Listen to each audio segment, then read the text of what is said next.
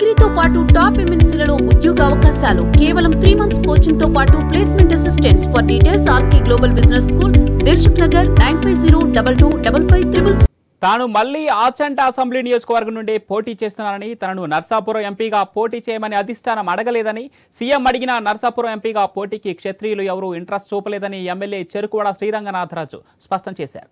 చంద్రబాబు తనపై చేసిన అవినీతి ఆరోపణలో వాస్తవం లేదని టీడీపీ నేత పితాని సత్యనారాయణ కమిషన్లు తీసుకొని పది శాతం మంత్రిగా గుర్తింపు పొందారని ఆయన ఆరోపించారు. ఇక ఆచంట నియోజకవర్గంలో హామీ ఇచ్చిన అన్ని అభివృద్ధి పనులు పూర్తి చేశానంటున్న ఎమ్మెల్యే రంగనాథరాజుతో మా ప్రతినిధి భార్గవ్ ఫేస్ టు ఫేస్ నియోజకవర్గంలో ఆసరా కార్యక్రమాన్ని ఒక పండుగలా మాజీ మంత్రి జిల్లా వైఎస్ఆర్సీపీ అధ్యక్షులు చెరుకువాడ శ్రీరంగనాథుడు నిర్వహిస్తున్నారు. సార్ చెప్పండి ఈ కార్యక్రమం ప్రధాన ఉద్దేశం ఏంటి? ఎలా జరుగుతుంది? ఈరోజు నాలుగో విడత ఆసరా ఇచ్చిన తర్వాత మా ఆతండ్రి నియోజకవర్గంలో మనసారా ఆసరా అనే కార్యక్రమాన్ని పది రోజుల పాటు పండగగా వాతావరణంలో ఈరోజు పదో రోజు ఈ రోజుతో కంప్లీట్ అయింది.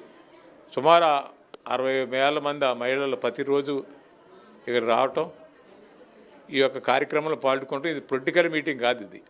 అఫీషియల్ మీటింగ్ మండల స్థాయిలో జరగవలసిన మీటింగు నియోజకవర్గ స్థాయిలో నా- ఇంటి దగ్గర పెట్టి నా తోబుట్టులు అందరినీ కూడా సాంప్రదాయబద్ధంగా తోబుట్టుని పుట్టింటి తీసుకొచ్చినట్టు తీసుకొచ్చి వాళ్ళలో జరిగిన ఈ ప్రభుత్వం జరిగిన మంచిని అభివృద్ధిని సంక్షేమాన్ని చెప్పుకుంటూ వాళ్ళు వాళ్ళు అలాగే గత ప్రభుత్వానికి ఈ ప్రభుత్వానికి ఉన్న తేడా.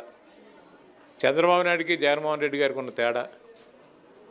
చర్చించుకుని జగన్మోహన్ రెడ్డి గారే మాకు కావాలి అని ఒకసారి వెళ్ళు మాట్లాడుకుని జరిగిన మేలుని చెప్పుకుని ఇదేం పొలిటికల్ మేము ఓట్లు ఆడటానికి మీటింగ్ పెట్టలేదు ఇక్కడ. మా పార్టీకి ఓటేయమని ఆడటానికి మీటింగ్ పెట్టలేదు.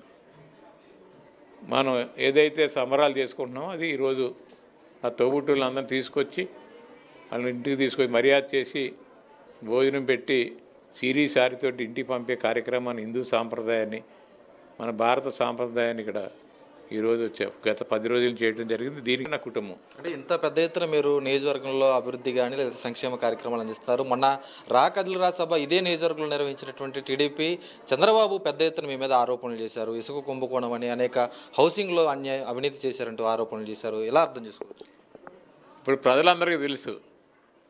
నేను గత రాజకీయాల్లో ఉన్నాను. వ్యాపారంలో ఉన్నాను. అలాగే రాష్ట్రంలో హౌసింగ్ మినిస్టర్గా కూడా చేసి రాష్ట్రం తెలుసు. రంగరాజు ఎంత రంగనాథరాజు ఎంత ఆనెస్టో ప్రజలకు తెలుసు. నేనే ఇసి దొయ్యలేదు. నేను లెక్కర అమ్మలేదు ఇళ్ళ తాళాలు అవినీతి అంటారు. ఎక్కడ అది ఒక పలానా ఓడి దగ్గర తీసుకున్నారని చెప్పాలి.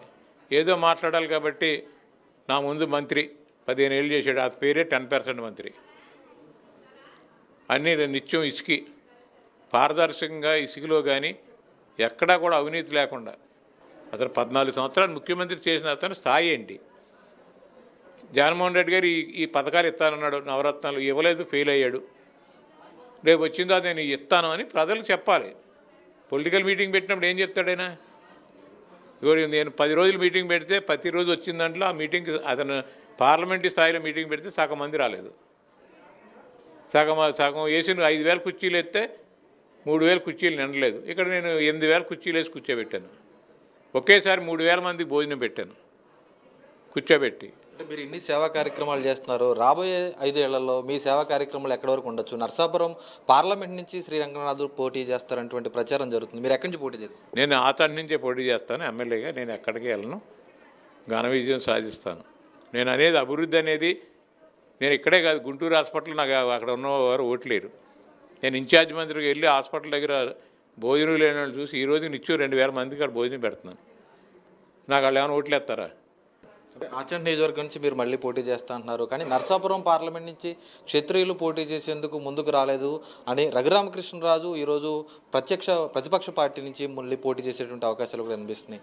ఎందుకు క్షత్రియుల నుంచి నిజంగా దూరం అయ్యారనుకోవచ్చా వైసీపీకి? ఏం జరుగుతుంది? అంటే ఇంట్రెస్ట్ లేదు ఎవరికైనా. ఆయన అడిగారు ముఖ్యమంత్రి గారు.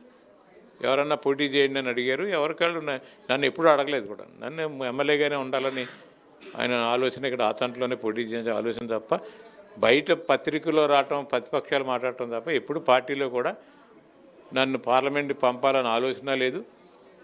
అలాగే కొన్ని సమీకరణలో బీసీకి ఇవ్వాలనుకున్నారు. ఆల్రెడీ బీసీ మైండ్ని ఇక్కడ ప్రకటించారు ఇన్ఛార్జిగా. వస్తాయి అంటే మీరు మళ్ళీ ఆచరణ నుంచి పోటీ చేస్తానంటున్నారు. కాబట్టి ఈ నియోజకవర్గంలో ఇంకా సమస్యలు ఏమైనా పెండింగ్లో ఉన్నాయా? మీరేం చేయదలుచుకున్నారు? ఇప్పటికే మన చంద్రబాబు వచ్చినప్పుడు కూడా అయోధ్య లంక వారధికి సంబంధించి ఆయన హామీ ఇవ్వడం జరిగింది. ఇంకా అనేక సమస్యలు ఏమైనా ఉన్నాయా? ఏం చేయబోతున్నారు? నేను ప్రజలకు ఇచ్చిన హామీలు అన్నీ కూడా నెరవేర్చాను. అయోధ్య లంక బ్రిడ్జికి కూడా సుమారు డెబ్బై ఐదు కోట్లతోటి బ్యాంక్ కూడా సబ్మిట్ చేయటం జరిగింది. అది ఫైనాన్స్ క్లోజర్ కోసం పెండింగ్లో ఉంది. ఎందుకంటే చిన్న గ్రామానికి డెబ్బై ఐదు లక్షలతోటి బ్రిడ్జ్ చేయటం. డెబ్బై ఐదు కోట్లు. అది ఏ మన ఏఐబి బ్యాంకులో ప్రాజెక్ట్ రిపోర్ట్లు అన్నీ తయారీ పెట్టడం జరిగింది. తప్పకుండా రాబోయే రోజుల్లో ఆ బ్రిడ్జ్ చేస్తాం. ఎందుకంటే డెబ్బై ఐదు కోట్లతోటి గోదావరిలో నిర్మించడం అది ఒక చిన్న రెండు వేల ఐదు వందల పాపులేషన్ ఉంది అంతే అక్కడ. దానికి ముఖ్యమంత్రి గారు తప్పకుండా చేద్దాం అన్నా అని చెప్పిచ్చారు మాట ఇచ్చారు అది రాబోయే రోజుల్లో చేస్తాం అది. రైట్ అది చూస్తే ఆచంట నియోజకవర్గం నుంచే తాను మళ్ళీ పోటీ చేస్తాను. నియోజకవర్గంలో మిగిలిన సమస్యలు ప్రధానంగా అయోధ్యలంక వారిది వారధి కూడా ఖచ్చితంగా తమ హయాంలోనే నిర్మిస్తామంటూ ప్రస్తుతం మాజీ మంత్రి అలాగే ఆచంట ఎమ్మెల్యే చెరుకువాడ రంగనాథరాజు స్పష్టం చేస్తున్నటువంటి పరిస్థితి కనిపిస్తోంది. కెమెరా పర్సన్ మహేంద్రతో భార్గవ్ ఐ న్యూస్ ఆచంట నియోజకవర్గం నుంచి.